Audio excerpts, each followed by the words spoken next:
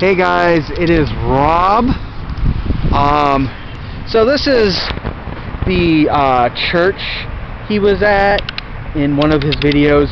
Um, quick thing, I'm not putting his video, I'm not like editing his videos into my videos because I know that he'll like file copyright strikes and stuff like that and DMCA's and stuff like that. That's why I'm giving the permission to you.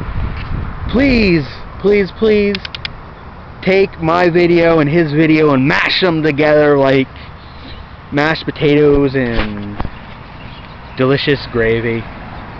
Anyways, it is May 6th. No, it's June 6th. That was a joke. Um, yeah, so this is the church he was at. Um, so, yeah. I'm pretty sure he's gone. There hasn't been, you know, complete confirmation that he's back in Niagara Falls. Because uh, we weren't really too sure. I mean, he only had a hotel room for like two fucking days, but he could be wandering around homeless. That's very easy to do around here.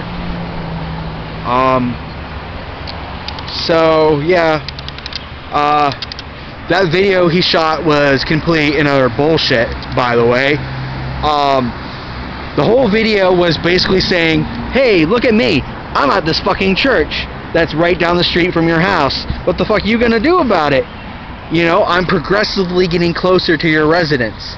And if I hadn't just happened to been out on the porch when he walked past, uh, when he's tried to walk past, you know, he would have thought of another excuse to record a video across the street from my apartment.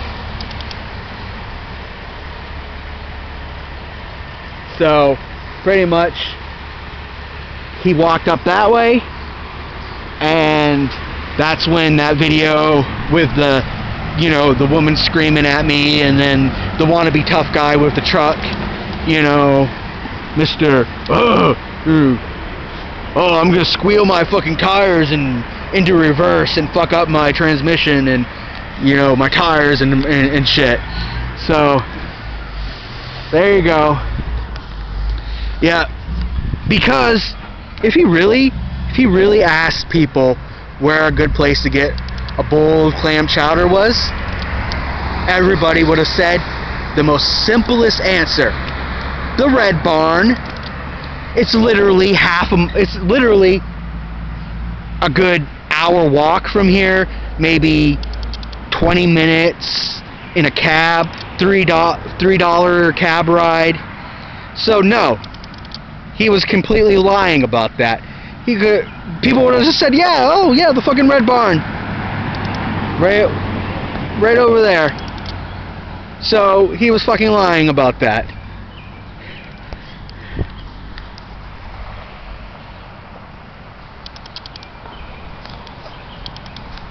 So, yeah.